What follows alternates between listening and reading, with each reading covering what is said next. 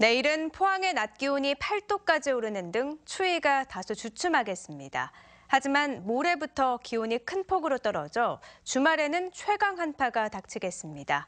송예림 기상캐스터입니다. 강가에 이렇게 살얼음이 얼 정도로 한파가 이어지고 있습니다. 다행히 오후부터는 기온이 조금 올랐는데요. 내일 아침 기온 포항이 2도, 경주 영하 3도를 보이겠고 한낮에는 7도, 8도까지 오르면서 기온이 조금 오르겠습니다. 하지만 여전히 찬 기온이 돌면서 추우니까요. 옷 따뜻하게 입고 나가시기 바랍니다. 금요일이면 다시 추워지겠습니다. 영하의 기온으로 하루를 시작하겠고요.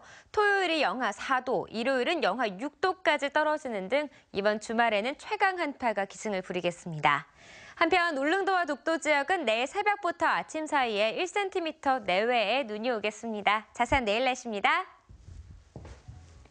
구름 많다가 오후가 되면 맑아지겠고요. 아침 최저 기온은 울진과 영덕이 영하 1도, 포항 2도, 경주 영하 3도, 낮 기온은 7, 8도를 보이겠습니다. 울릉도와 독도 지역은 오전에 눈이 내리겠고 바람이 매우 강하게 불겠습니다. 울릉도의 아침 기온 1도로 시작해 낮 기온 4도를 보이겠고요. 독도는 아침 기온 3도, 낮 기온 6도가 예상됩니다. 동해 중부 먼 바다에 비나 눈이 오는 가운데 바다의 물결 최고 6m까지 일겠고요. 동해 남부 먼 바다도 눈이나 비가 내리겠고 바다의 물결 최고 4m까지 일겠습니다.